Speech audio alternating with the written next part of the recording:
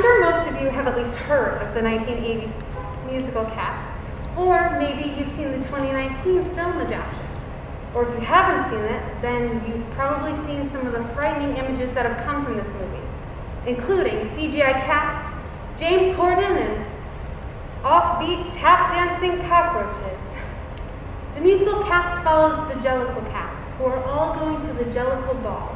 Every year at the Jellicle Ball, one cat is chosen to go to the Heaviside Layer, which basically means that that cat dies.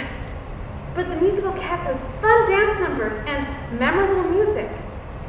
The 2019 film got a 19% on Rotten Tomatoes, which I think is unfair and does the film an injustice.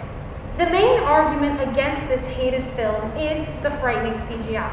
But if you get rid of your closed-mindedness and see how great and innovative this film is, you'll see how great it is. Sure, there were cat boobs, but if you think about the time and effort and amount of people it took to make this film, you'll see how innovative it really is. Hooper wanted to use this technology to see the authentic emotions of these characters. And this was most successfully shown through Jennifer Hudson's version of the smash hit Memory.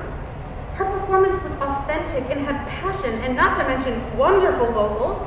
The film also had vocals from Taylor Swift, Jason Derulo, um, Ewan McGregor, and Judi Dench, who brought female power to the film. Judi Dench plays Old Deuteronomy, who is the leader of the Jellicle Cats, usually played by a male. But with Judi in the film, we have a woman in power. For the final argument against this film, it is that there's a lack of plot, which is usually towards the musical. But in the movie, we are introduced to Victoria.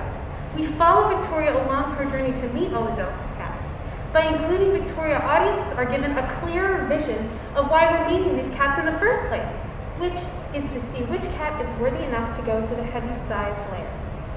With underrated CGI, wonderful music and dance numbers, and talented vocal stars, why does Cat still have a bad rep? What is so bad about frightening life-size cats that may give your kids nightmares? I mean, have you seen real cats? They're sociopathic, self-centered creatures who lick themselves clean with their tongue and cough up hairballs. Given the choice between real cats and jellicle cats, I'm going with the ones that can sing and dance any day.